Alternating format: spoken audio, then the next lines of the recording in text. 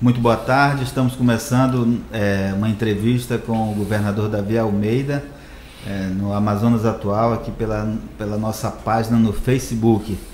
Comigo, Kleber Oliveira, para é, fazer a, as perguntas é, necessárias para o governador. Boa tarde, governador. Boa tarde, Valmir. Boa tarde, Kleber. Boa tarde a você que nesse momento nos acompanha no site Amazonas Atual.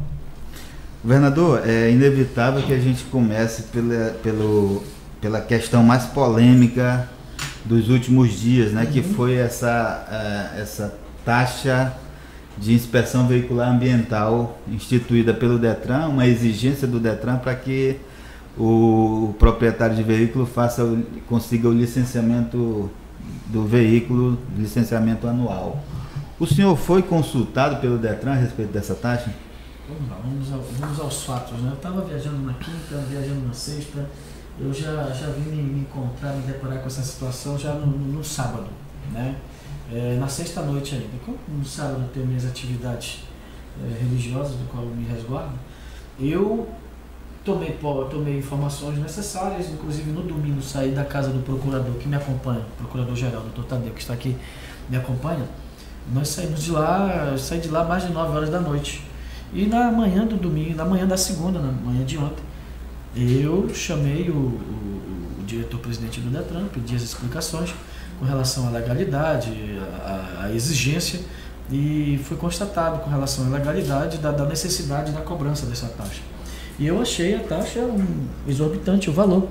E perguntei a ele, perguntei não, determinei a ele que se fizesse ali os ajustes necessários e que pudesse ser diminuída essa taxa no valor até de 50% do valor que estava sendo proposto.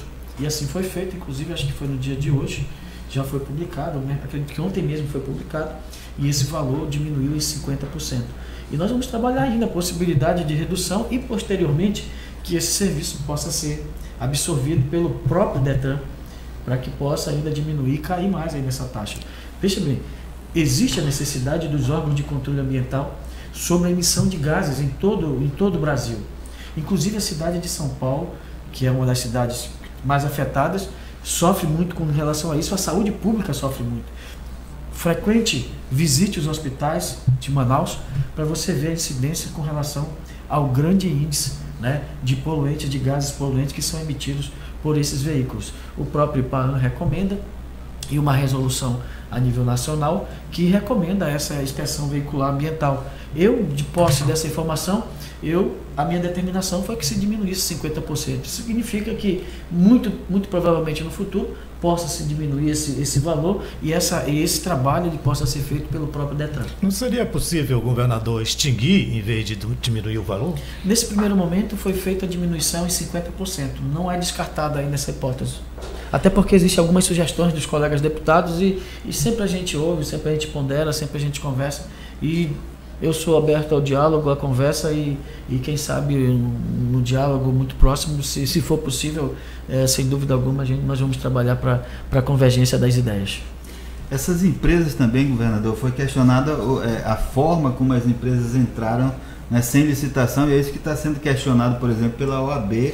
que já entrou, os advogados, não foi a, a entidade em si, mas foram os advogados, inclusive o presidente da OAB entrou com uma ação popular questionando a falta de licitação. Não teria que ter licitação nesse caso? Pelo que, fa... Pelo que, que foi me explicado pelo diretor-presidente do Detran, é, foi feito um credenciamento a nível nacional e essas empresas, pelo que se sabe, elas se credenciaram. Então, acredito que foi isso. Mas eu acho que o processo legal mesmo deveria ser a licitação. Eu estou de acordo.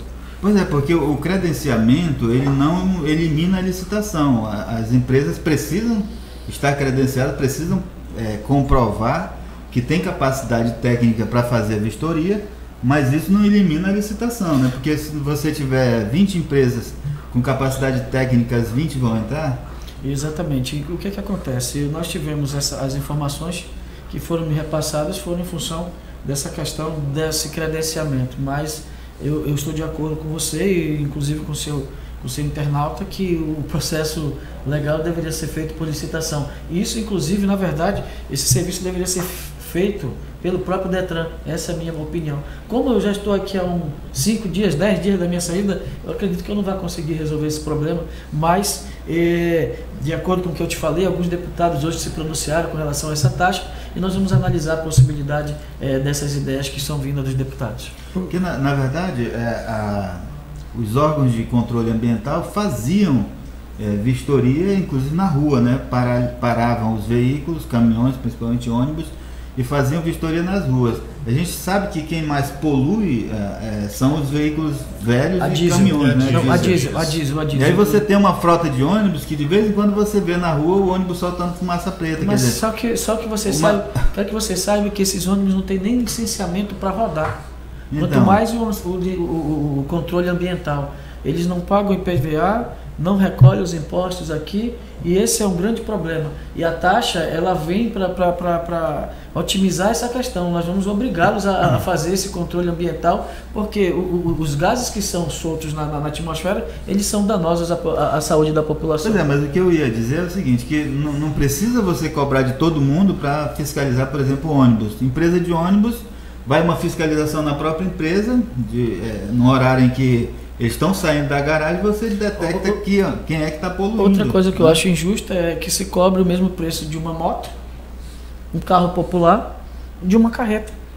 Então eu acho que isso aí deverá ser revisto para diminuir ainda mais. E se você colocar aí, diminuir esses valores para motos e carros populares, nós estamos falando aí de 80% a 90% da frota do nosso estado. Então eu vou chamar para que a gente possa. São ideias que estão chegando que a gente pode trabalhar para diminuir ainda mais os impactos com relação à população. É, em contrapartida disso, Valmir, pela primeira vez na história, pela primeira vez na história do Amazonas e do Brasil, Kleber, um governador envia para a Assembleia, inclusive já está na Assembleia, o projeto que isenta da cobrança dos 2% daquela taxa da FECOP o diesel, a gasolina, os combustíveis e também eh, os concentrados de refrigerante. Portanto, pela primeira vez na história, se abre mão de impostos, se abre mão de tributos e eu quero aqui, sem dúvida alguma, acreditar, crer que os deputados da Assembleia irão fazer a aprovação dessa matéria que irá e muito beneficiar a população do estado do Amazonas. É. Pela primeira vez na história, viu, Cláudio? Eu, eu, volto, eu, eu queria voltar na- a esse assunto depois, mas eu, eu tenho mais uma questão, mais uma ponderação a fazer em relação a essa taxa. São duas empresas que foram credenciadas, é, fala-se que seriam em torno de 400 mil veículos que teriam que passar pela vistoria. O, a- o Amazonas tem muito mais do que 400 mil, mas 400 mil pelo critério adotado aí, pela, pelo que diz a legislação, com mais de dois anos de, de uso.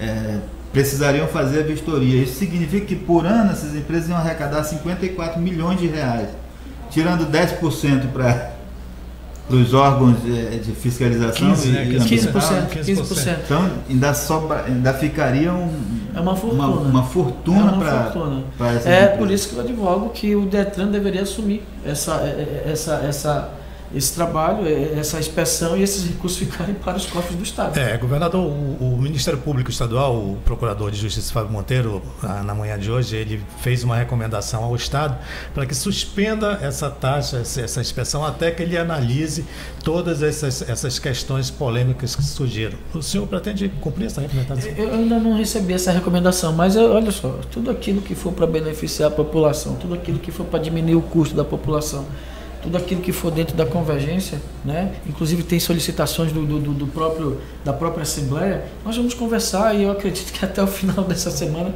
ainda vamos ter desdobramentos. Agora, se- ah, eu, eu tinha até uma pergunta a respeito do ICMS. Né?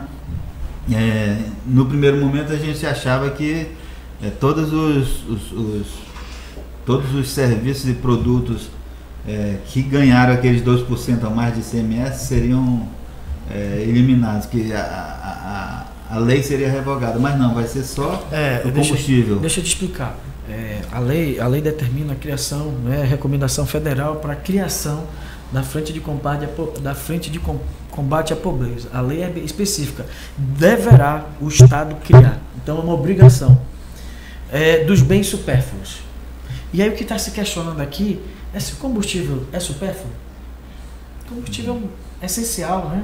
Quem não usa um meio de, de, de, de- de locomoção, um carro, uma moto e tudo mais. Então, nós retiramos aquilo que daria praticamente 90% diesel e concentrados.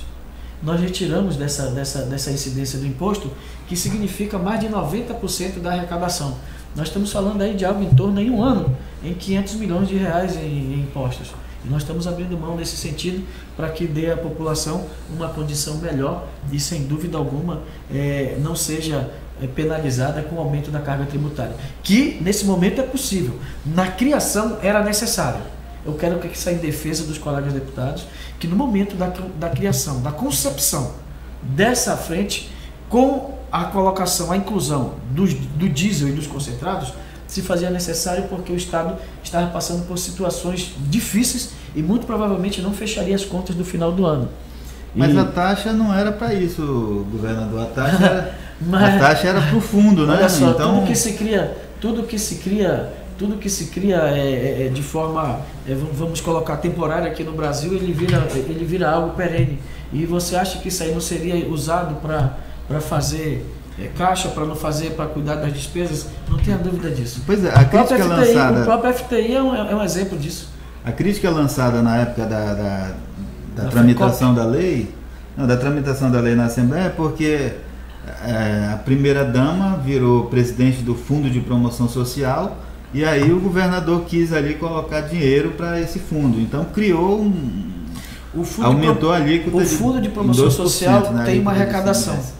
Esses recursos do Fundo de Promoção Social serviriam para abastecer o caixa do Estado. E a frente de combate à pobreza seria utilizada exatamente para fazer as ações sociais Entendeu? Então seria feito ali um encontro de contas, uma, uma, uma troca de rubrica com relação a essas arrecadações. Isso serviria assim para ajudar nas finanças do Estado. Não, não foi pouco tempo entre a criação da lei e agora a revogação desses 2%. Deu para equilibrar essas contas? Deixa eu te explicar. Período? Você me dá uma boa oportunidade, Kleber, de falar agora para os seus, é, seus internautas. Eu assumi o governo dia 9 de maio. Valmir, Kleber, a você internauta. E quando nós assumimos o governo, existia um déficit de 634 milhões de reais, orçamentário e financeiro. Nós pegamos o Estado. O que, que era esse déficit, governador? É, a, a, nossa, a, nossa, a nossa despesa estava maior do que a nossa receita. Uhum. E nós precisávamos arrecadar mais. E aí o que, que acontece? Quando chegou no dia 30 de maio, que nós fomos aferir a nossa arrecadação, nós fizemos a comparação com o mesmo período do ano passado e nós estávamos a menor 9% do que 2016. Agora, pasmem, o nosso orçamento de 2017 é menor do que o orçamento executado de 2016 em 1 bilhão e 500 milhões de reais. Daí o déficit de 634 milhões. Isso aconteceu, o que é que nós fizemos? Tínhamos alguns recursos, redirecionamos contratos, diminuímos a despesa do Estado. É, pagamos o 13 terceiro lá, 30% já no mês de julho. Fizemos a, a retomada de obras que estavam paradas com dinheiro em caixa, dinheiro de empréstimo, diga-se de passagem. Não fiz uma despesa, uma despesa nova e não endividei o Estado. E aí nós fizemos aqui, demos a ordem de serviço na Avenida das Torres, demos a ordem de serviço na M070, ordem de serviço em Labra, em Carauari, em Rio Preto, em Manaquiri, em Manacapuru, em Altazes, e aí nós fomos colocando essas obras para funcionar. O Estado foi começando a trabalhar novamente, a ofertar o emprego. O emprego começou a acontecer novamente, nós fomos começando a abrir novos postos de trabalho, a distribuir a renda, a gerar riqueza e distribuir renda. Aí acontece o seguinte: no mês de junho, a nossa receita, em comparação ao mesmo período do ano passado, aumentou 12%. No mês de julho, nós aumentamos em 19%. E no mês de agosto, com é, as medidas que nós tomamos, com o incremento na, na, na máquina de arrecadação, sem fazer terrorismo fiscal e muito menos fazer a, a, aumento de alíquota de imposto nós crescemos a terceira maior arrecadação da história do estado do Amazonas. É isso mesmo. 30,63%. Isso sem nenhuma receita extraordinária. O que é receita extraordinária? Depósito judicial, refis e empréstimos é, nacionais e internacionais. Só com o nosso imposto maior, que é o ICMS, e também parte do IPVA. Portanto, nós destravamos o Estado, o Estado voltou a crescer, nós crescemos 30%. E agosto, que foi o melhor mês, eu vou te dar uma informação aqui agora. Hoje de manhã eu estava aqui na Cefaz, aqui ao lado, a nossa arrecadação de setembro, com incremento na, economia de mais 30% do 13º e de mais 140 4 milhões da primeira parcela do Fundeb, das duas primeiras parcelas do Fundeb, nós vamos colocar em circulação mais 200 milhões. Nós vamos colocar aí o salário do servidor público mais 320, 330 milhões. Mais o dinheiro, nós estamos colocando esse dinheiro no bolso do trabalhador.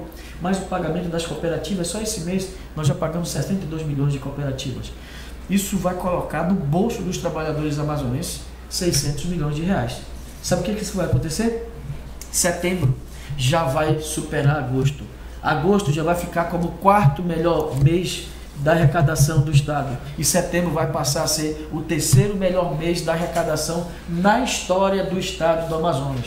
Tudo isso fruto de ajustes que nós fizemos. Isso não se faz o Almício, não se faz Kleber, não se faz internauta com a varinha do Harry Potter, não. Se faz com muito trabalho, com planejamento e, sem dúvida alguma, com o compromisso de melhor servir o Estado do Amazonas. E, inclusive, o fundo de participação do Estado tem diminuindo mês a mês na minha administração. E os prefeitos do interior têm diminuído os recursos do Fundo de Participação dos Municípios também. O Fundeb tem diminuído no interior. Sabe o que é que tem salvado o interior do estado do Amazonas e o estado como um todo? A arrecadação própria do ICMS, sem fazer terrorismo fiscal. Os prefeitos têm me agradecido. E olha que eu tenho viajado muitos interiores. E eu digo para eles: olha, eu não estou fazendo mais do que minha obrigação. E o aumento do repasse do ICMS tem ajudado as prefeituras a arcar com as suas despesas e a guardarem dinheiro para o 13 terceiro do final do ano nos municípios do interior. Essa, essa, essa arrecadação, ela teve alguma ação da Cefaz para aumentar a arrecadação? Sim, sim, sim, sim. Nós estamos combatendo a, a, a, a sonegação. O combate à sonegação, você aumenta a sua, a sua arrecadação combatendo a sonegação, mas sem fazer terrorismo fiscal. Você fazendo os ajustes necessários na máquina arrecadatória, você consegue aumentar a sua arrecadação sem fazer terrorismo fiscal, muito menos aumentar a alíquota de imposto. Os empresários, os servidores do Estado, os fornecedores do Estado estão recebendo em dia. Mas o Estado não é só, não está mil maravilhas. É necessário que se fale que existe um passivo muito grande na área de saúde. Isso é fato. Ainda tem déficit também, né? Nós temos, eu vou entregar, eu vou entregar ao governo melhor do que eu recebi. Eu vou entregar ao governo muito provavelmente com déficit zerado. Algo em torno de 50 milhões, que um mês isso aí se vai ser exaurido no, no suor. Então, eu vou entregar um estado bem melhor do que eu recebi com 634 milhões de déficit, eu vou entregar quase que zerado o déficit, com o 13º 60% pago, diga-se de passagem, o primeiro estado da federação a pagar 60% do 13º, eh, 60%, e sem dúvida alguma o estado com a, a sua máquina, com as obras acontecendo, temos ainda quase 400 milhões de reais em caixa só para as obras, esses recursos estão aí, são recursos carimbados que só, só podem ser gastos para aquela finalidade ao qual eles foram contraídos, esses empréstimos. Esse dinheiro está no cofre ou. No caixa do Estado, no cofre, no cofre conta do Banco do Brasil, empréstimo do Banco do Brasil, não, conta não, da Caixa Não, não depende, eu perguntei porque às vezes o, o recurso está disponível, mas depende de liberação não, do não, banco. Não, Já temos 400 milhões, temos quase 400 milhões, um pouco menos que nós pagamos algumas, algumas obras que estão sendo feitas, estão sendo medidas, nós pagamos, e ainda tem 300 milhões de reais que estão sendo contraídos junto ao Banco do Brasil. Então o próximo governador vai ter que só para investimento algo em torno de 700 milhões. E ainda digo mais, como já tinha sido feita a liberação anteriormente na STN, o aval do banco com o aval da STN tem mais 340 milhões. Então nós estamos falando aí de algo em torno de 1 bilhão e 100 milhões de reais só para investimento aqui no estado do Amazonas no próximo ano.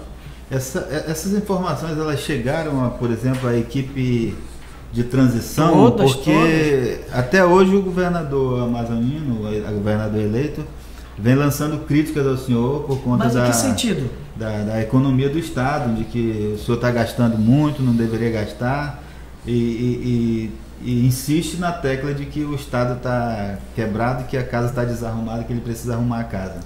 Eu não sei, eu, eu, eu acredito que é, não estão levando as informações necessárias ao governador. Eu estive eu estive há um mês e meio atrás, dois meses, com nove governadores da, da Amazônia Legal ainda estão pagando o 13 terceiro do ano passado. Nós temos pago já 60% do décimo e eu vou deixar mais no cofre, vou deixar e vou dizer onde está a conta. com mais 35 milhões de reais, que é o restante do décimo para ser pago, porque no final do ano você tem o décimo terceiro que você recolhe, na verdade é, fica para o Estado, e o Estado já está com esse recurso. Nós temos dificuldade com relação à conta do Tesouro, a, a chamada fonte 100, que é a fonte que abastece, que, que, que nós pagamos as despesas do Estado são os recursos chamados centralizados e os descentralizados. Né? Os descentralizados são os recursos que nós recebemos, é, do, do, do, do, no caso federais e tudo mais, e o centralizado é aquela conta única do Estado. Com relação a isso, nós temos essas demandas pertinentes a passivos atrasados, entendeu, Valmir? Que são, no caso, da saúde. Para que você tenha uma ideia, existem cooperativas de saúde que realmente existem atrasos. Mas como que estava funcionando o estado do Amazonas, senhores? Eu recebi o estado em maio pagando, os forne... pagando as cooperativas de saúde do mês de janeiro. Em junho eu paguei fevereiro. Em julho eu paguei março. Em agosto eu paguei abril. Em setembro eu estou pagando junho e já vou deixar orçamento para pagar julho. Então é assim que eu peguei o Estado. Não se pode pagar esses passivos atrasados é, de, um, de um mês para o outro. Mesmo a arrecadação crescendo, mesmo o Estado tendo recursos, o Estado está pagando os seus servidores, não tem um servidor atrasado. O que existe são atrasos com relação a esses contratos de terceirizados, que na verdade isso é um problema que tem que ser atacado pelo próximo governador, porque a Constituição determina que o Estado gaste no mínimo 12%. Nós voltamos aqui à nossa transmissão com o governador Davi Almeida. Tivemos um problema da operadora de internet, a NET. A NET faz sempre isso, né? É, não entrega o, o, serviço que vende, vende um serviço que não entrega. Então nós tivemos um problema aí de, de falta de conexão, perdemos a conexão e, e e ficamos fora do ar por alguns instantes. Estamos retomando aqui a nossa entrevista com o governador. É, governador, é, tem uma pergunta aqui de várias, várias pessoas estão perguntando sobre as parcelas do, do abono do, do abono? Fundeb, né? Certo. O senhor vai sair, vai, o, o próximo governador é que vai pagar, é isso? Na verdade, nós já temos, esse recurso está em caixa, né? já está em caixa. Para que você tenha uma ideia, é, criou-se muita polêmica com relação a isso. É, é, muito fácil isso de ser resolvido. Só cumprir a lei, que determina a lei. Desse, esse, olha só, você que nos assiste nesse momento, esse recurso do Fundeb que veio para o Estado também veio para os municípios, ele são recursos a menor que foram repassados no ano passado e que só agora caíram na conta. No ano passado foram repassados a menor. Essa soma toda veio agora no ano de 2017. E nós temos até o dia 31 de, de, de dezembro para repassar 60% desse recurso para os professores. Eu apenas cumpri com a minha obrigação e com a determinação. Ah, porque você não fez o reenquadramento, o escalonamento, não deu a data base. Esse é o problema dos governantes, dos administradores brasileiros, professor Valmir e Kleber. Por quê? Eu digo para você, sempre se cria despesa, despesa fixa para receitas extraordinárias. E esse recurso é um recurso extraordinário, não é um recurso fixo. Eu não posso onerar, aumentar a minha despesa com uma receita extraordinária. Portanto, chamei a categoria, mais de 4 mil professores lá no Vasco Vasques, fiz esse comunicado e eles estão recebendo o maior abono da história da educação. Um professor com 20 horas está recebendo R$ 6.700. Com 40 horas, dobra. E com 60 horas, ele triplica. Um professor que vai receber quase aí 20 mil reais em, em abono até o final do ano. Nós fizemos o pagamento já de duas parcelas. 50% do abono já foi pago. Os outros 106, 104 milhões de reais já já estão no caixa do Estado e não podem ser pagos agora todos. Sabe por quê, professor? Sabe por quê, é, meu amigo Kleber, você que nos ouve nesse momento? É porque ainda vão chegar mais recursos do Fundeb. Então, mês de setembro, outubro, novembro, dezembro, e, a, e quando chegar esses recursos, esse recurso que você recebeu, esse valor, ainda pode aumentar um pouco mais. Então, é, é prudente que se espere até o mês de novembro, dezembro, para que possa ser pago o restante do abono. É, governador, nessa área ainda de pessoal, existe um outro problema, o senhor deve ter enfrentado isso nesse outro período de governo, que são os concursados, né, dos concursos que, que foram aprovados não foram chamados até hoje. A gente tem uma pergunta aqui do Manuel Cades, que ele fez Cades. o concurso da Polícia Civil em 2009.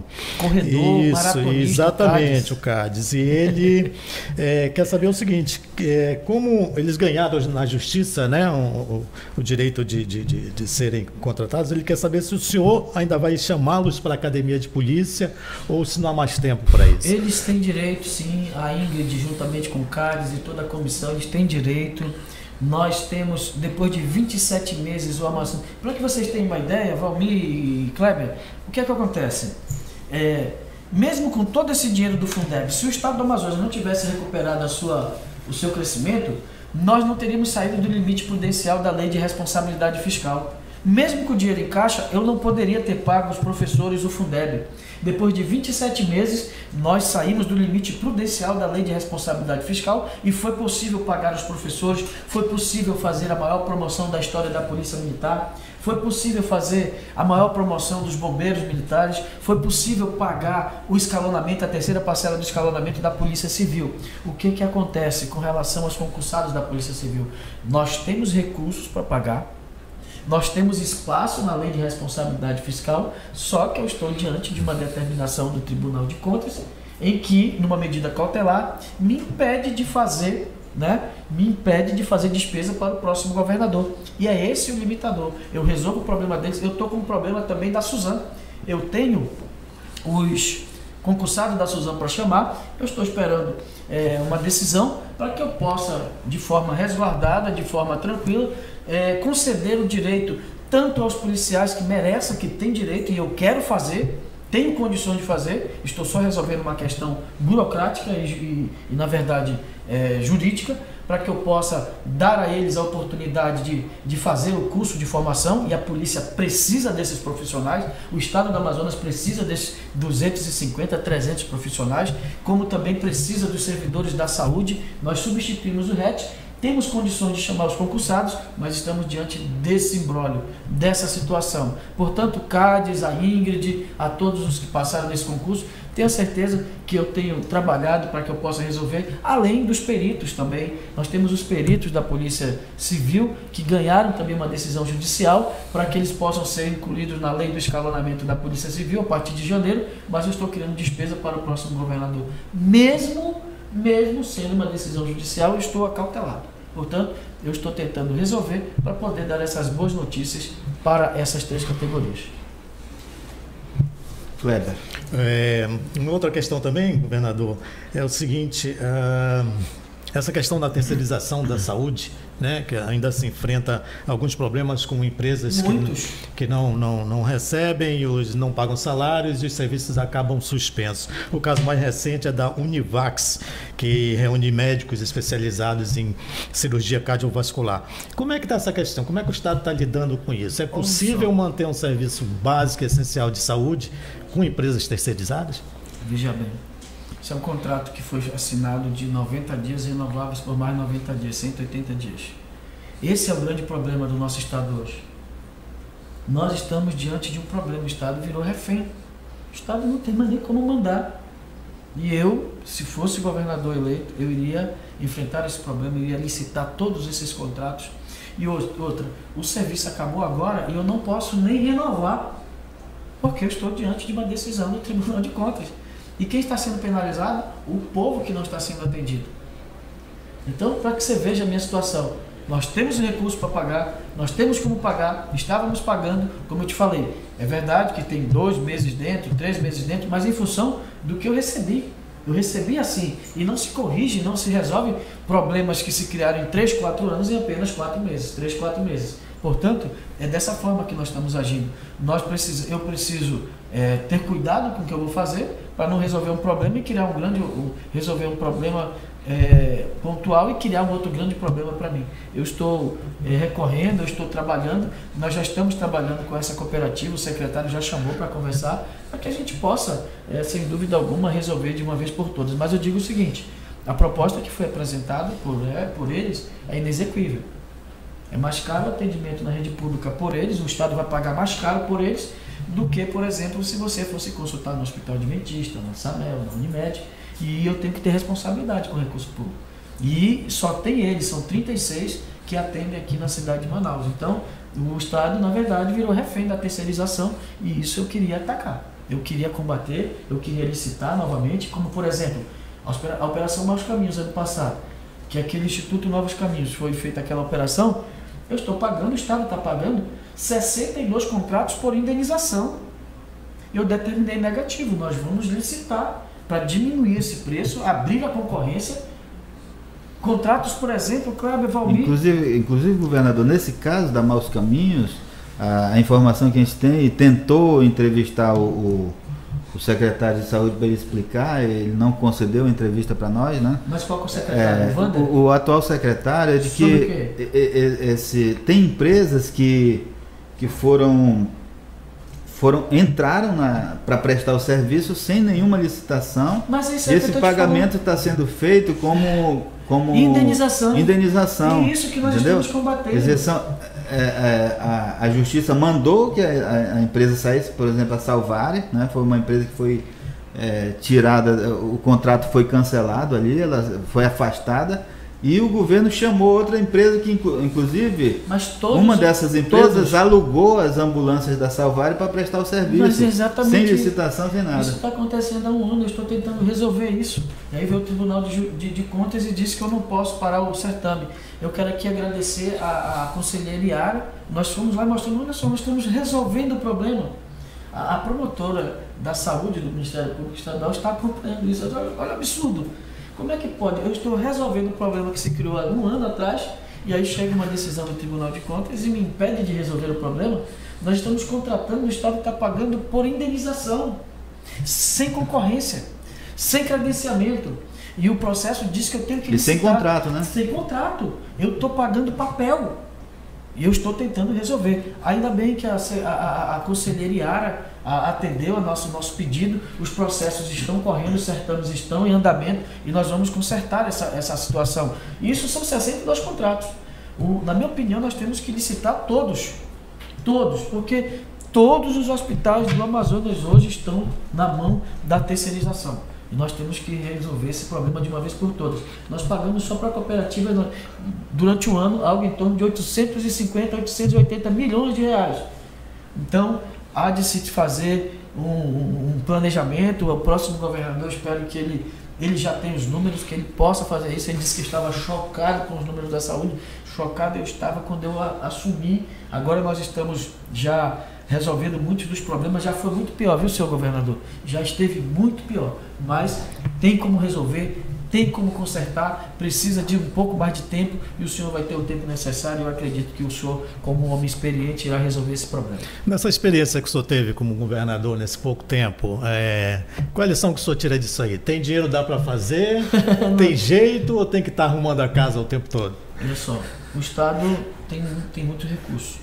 Se você otimizar a sua despesa, a receita, ela tem como ser aplicada para a melhoria da qualidade de vida do povo do Amazonas em todos os sentidos.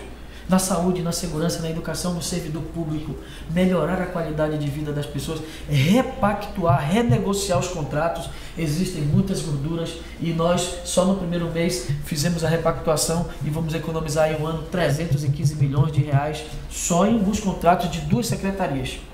E eu tenho certeza que com a repactuação de contratos, a renegociação, nós temos como economizar ano algo em torno de 700 a 800 milhões de reais e fazer com que esses recursos possam ser aplicados em infraestrutura, em saúde, em segurança, em educação e, acima de tudo, na, na questão social que tanto precisa.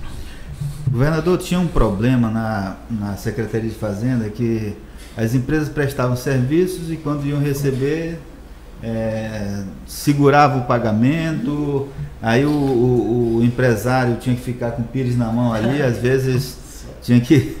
Isso acabou. É bom isso, é, a, acabou isso acabou, na sua gestão? Vá, vá, eu te desafio. Aliás, eu, eu te desafio, a Valmir. primeira pergunta que eu ia fazer era se isso existia mesmo, porque Olha a gente só, ouve muito falar. É, existia. Existia sim. Isso acabou. Eu te desafio hoje, você está aqui, atravesse a rua amanhã 9, 10 horas da manhã, os corredores da Cefaz ficavam cheios.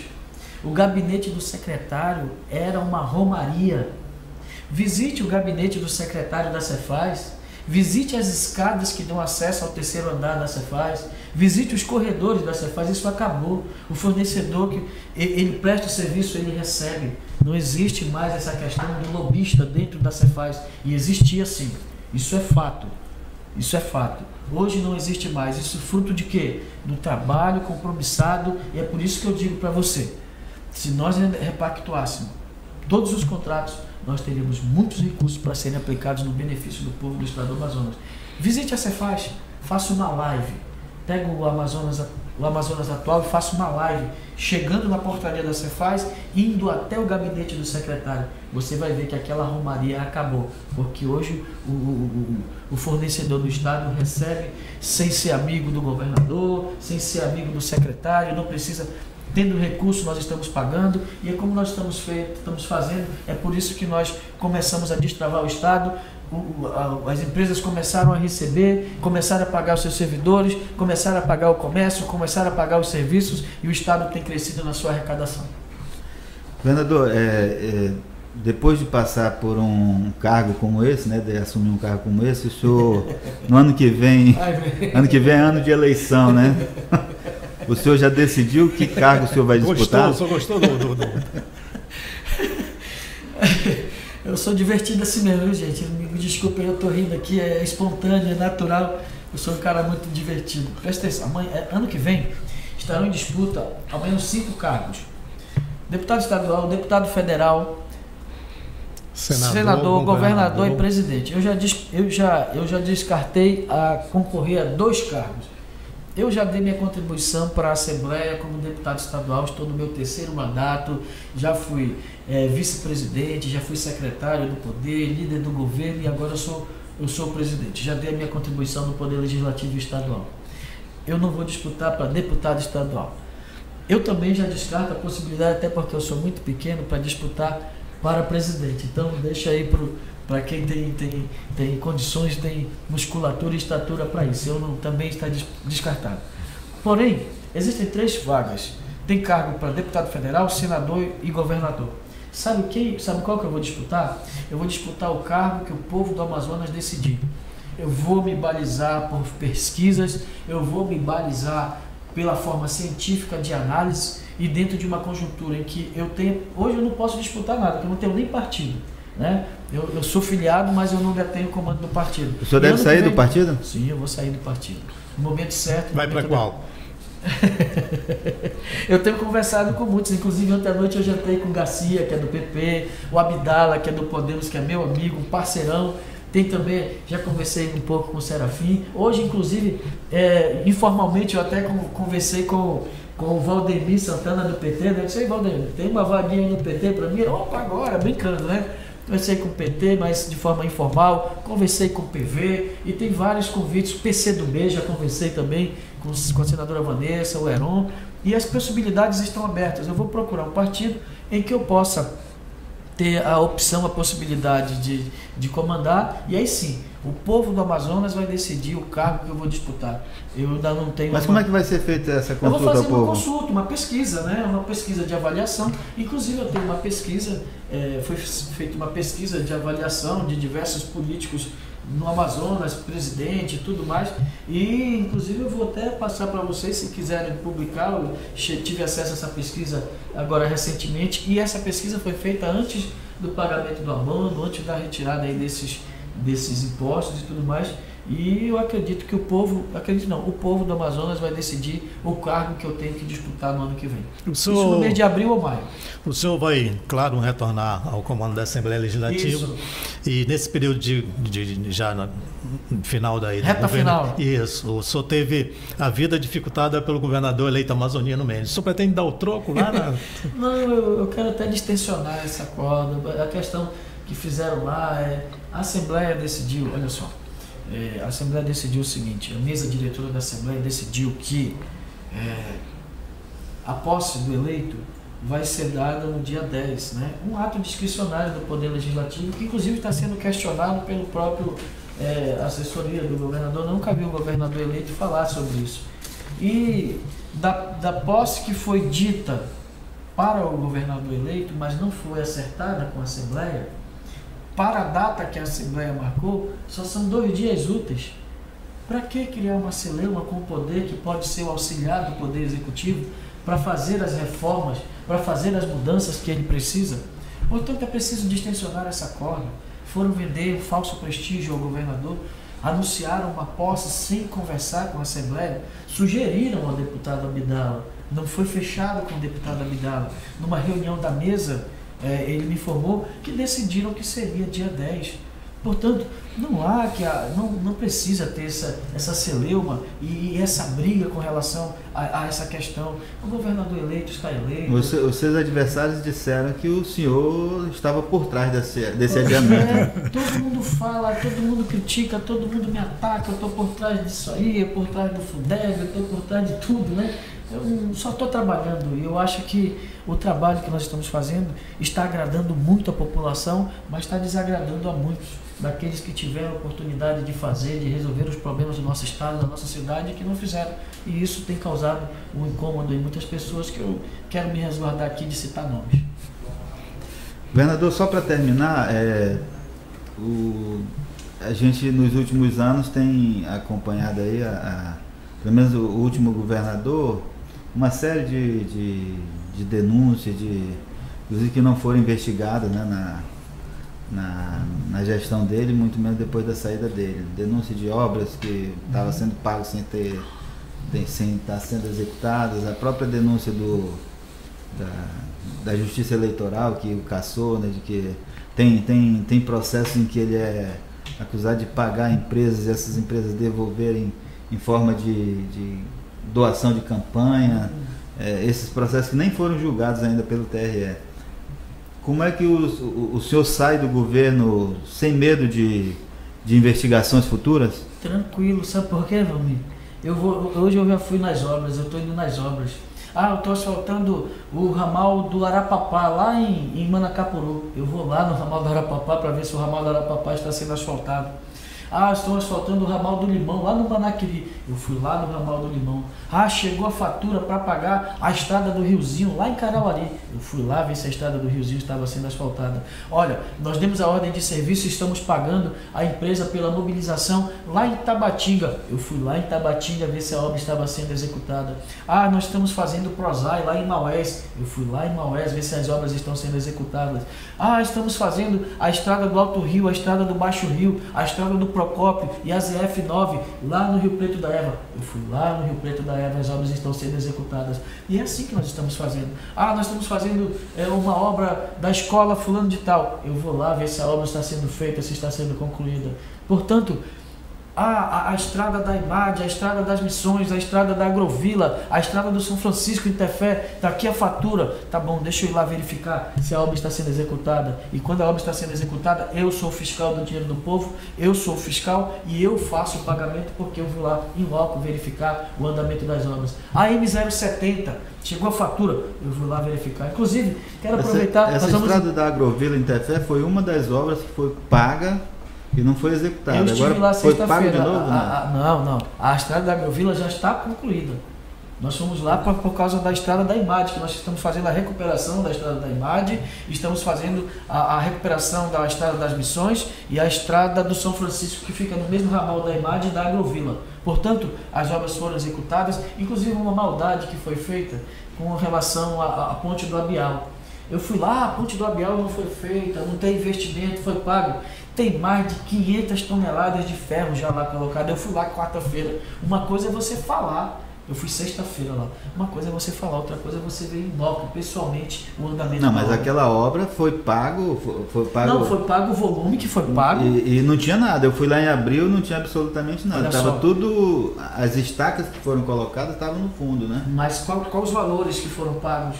O material está lá, não significa que não foi, é, foi não foi executado, mas o material está lá. Como, por exemplo, aqui na Avenida das Torres. Se você for aqui, não tem o viaduto do. do, do, do esse viaduto aqui da. do terminal da, da, da Cidade Nova? Sim. As peças que vão fazer o viaduto estão todas prontas.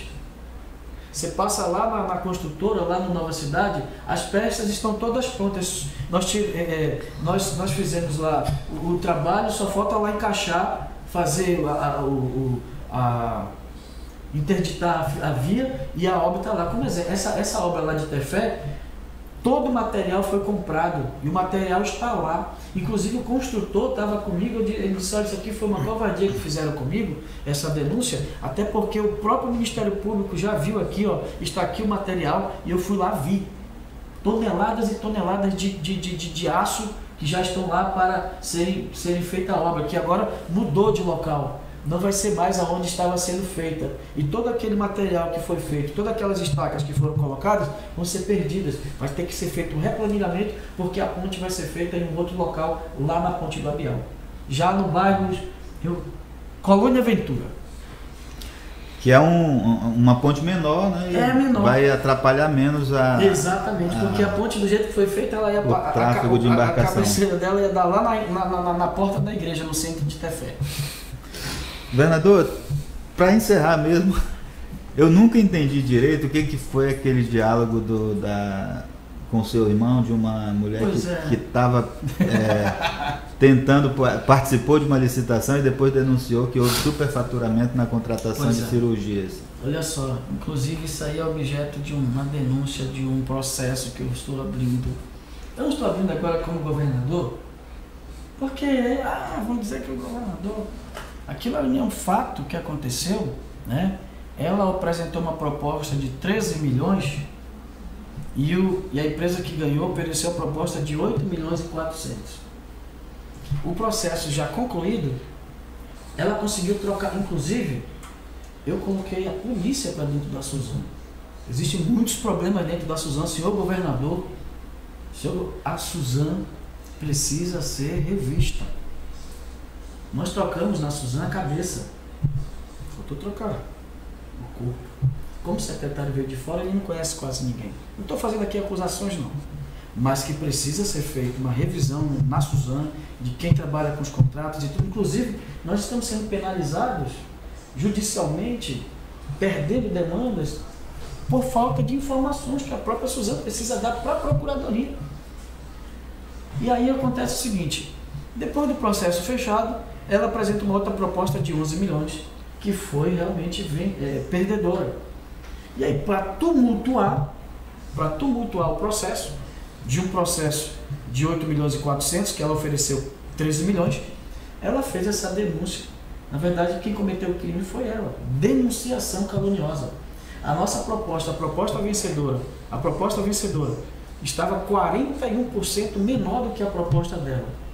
E você vai lá agora, lá no, no, no, no, no Delfim Nazis, para você ver a alegria das pessoas. Sábado eu fui lá, eu sempre visito hospitais de sábado, né? E, e essa proposta estava lá. Inclusive, como essas pessoas estavam na fila para fazer essa cirurgia há muito tempo, os exames delas todos estão vencidos. Sabe o que está acontecendo? Nós estamos refazendo os exames delas dentro do Delfim Nazis sem onerar o custo do contrato. Isso é eficiência. É, e aí o meu irmão ligou para ela, porque ele, ela, ela conhecia ele, ele conhecia ela, se conheceram na Suzana, e ele sabendo da lisura do processo, né, fez a ligação. Se teve alguma coisa errada ali, foi o modo como ele tratou ela.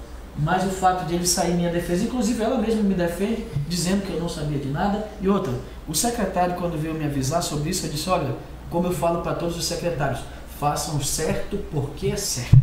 Nós não temos o direito de errar. E o Ministério Público já, já, já, já se pronunciou, nos deu, viu a licitação que foi feita de forma correta, de forma é, mostrando a lisura e o denodo como foi tratado, e isso que quiseram impingir sobre a minha administração de uma malversação dos recursos públicos, na verdade não passou de uma mentira, de um engano que será, sem dúvida alguma, arguido na justiça e eu acredito que serão punidos aqueles que tentaram impingir sobre a nossa administração essa marca é, do desvio.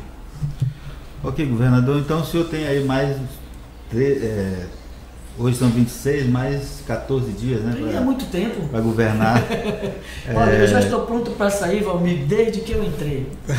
Desde que eu entrei, eu já estou pronto para sair. Então, estou bem tranquilo. Se eu for sair O senhor está só esperando, então, a é... hora de entregar? Não Inclusive, vai... hoje eu, eu já assinei aqui, eu assinei um, decreto em que nós estamos exonerando, a pedido do próprio, da própria equipe de transição, vamos exonerar as pessoas para deixar bem à vontade para o próximo governador. Já vou publicar já na sexta-feira. é, tudo de forma calma, tranquila, serena, sem aqui é, querer é, puxar cabo de guerra. É, o governador eleito vai assumir, vai governar o Estado e eu vou entregar o Estado para ele melhor do que eu recebi. Sendo que ele vai receber o Estado, ainda temos muitos problemas a serem resolvidos.